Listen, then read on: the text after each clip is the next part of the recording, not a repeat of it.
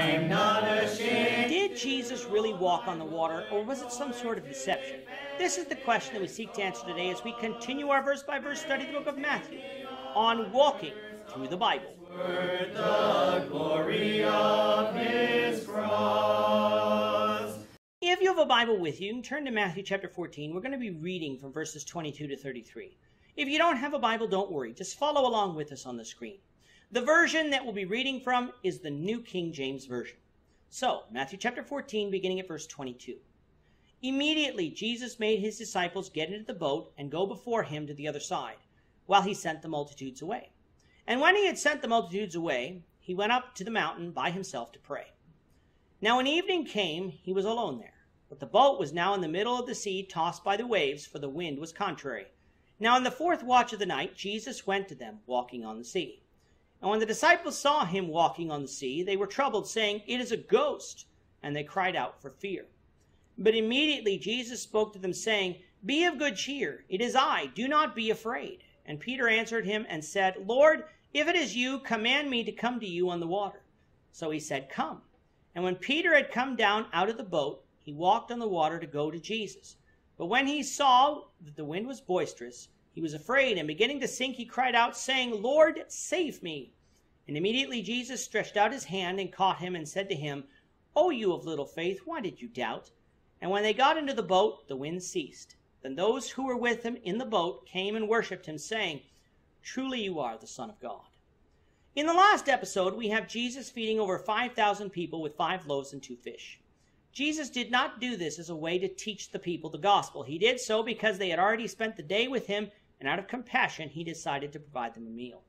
After this, Matthew said that Jesus immediately sent the disciples away into a boat while he went on a high mountain to pray. This might seem peculiar, but in John 6, a parallel of this passage, we find that the multitude after this miracle tried to make him a king by force, so Jesus fled into the mountain in order to escape the people and told his disciples to go to the other side. Jesus was not going to be made a king against his will, and as readers of the Bible know, Jesus' kingdom is not of this world. It was not an earthly kingdom in his day. It is not an earthly kingdom today, and it will not be an earthly kingdom in the future. Jesus' kingdom exists for sure today, but it is a spiritual kingdom ruled over by a spiritual king, Jesus Christ, who is at the right hand of God in heaven. So night had fallen completely. Jesus is in a mountain praying, and the disciples are in the middle of the Sea of Galilee in the midst of a windstorm that was causing the waves to crash against the boat. Matthew then tells us that at the fourth watch of the night, Jesus came to them walking on the sea. The Romans divided the night into four three hour segments. And so what we're talking about here is the time between 3 and 6 a.m.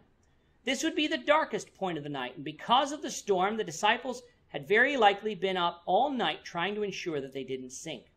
Why did Jesus wait so long to come to the aid of his disciples? We're not entirely sure. Perhaps he needed that much time to pray, or perhaps Jesus was testing the faith of the disciples. Since Matthew doesn't tell us, it is not important to know why Jesus waited. Just we just need to know that he did. In the darkness of the storm, all the disciples see in the sea is a dark figure approaching them.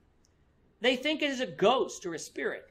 That ghosts are referenced in Scripture does not prove that ghosts roam this earth, but it does show us that the people of that time believed in them. Ecclesiastes 12:7 would teach us that the spirits return to God at death. They do not remain here on earth to haunt the living. Not understanding what they were seeing, it is only natural for the disciples to be afraid. Trying to calm their fears, Jesus calls out to them, saying, Be of good cheer, for it is I. Even that didn't cause the disciples to believe, for Peter replied that if it was Jesus, he would command him now to come to him on the water. Jesus told Peter to come. And to Peter's credit, he didn't argue. He stepped over the side of the boat and stepped into the water. This would have required faith, something that Peter did possess.